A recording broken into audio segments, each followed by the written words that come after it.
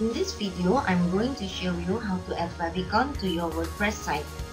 Favicon is a 16 by 16 pixel image that is displayed in your browser's address bar like this one here. This is optional, but this is one way to express yourself. It tells people a little bit about your website too. To add favicon is very simple.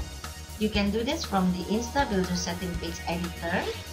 Scroll down to the InstaBuilder settings tab and you will see favicon URL.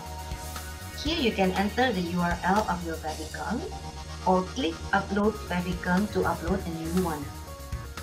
Before you can upload a favicon, you need to create it. You can of course get a graphic designer to create one for your website or you can create it yourself. Let's see how it works.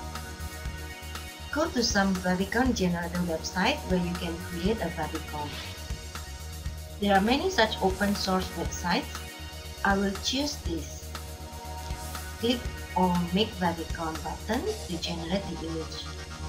Then save it to your computer. Now go back to your WordPress dashboard. Click on Upload Favicon button and select the favicon you just created. Click Save and reload the page to see the result.